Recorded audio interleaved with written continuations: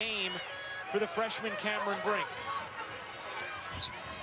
Jackson is fouled by Hull, and you wonder if this is a chance to get Boston into the game as well as we check in with LaChina. Ryan, earlier you mentioned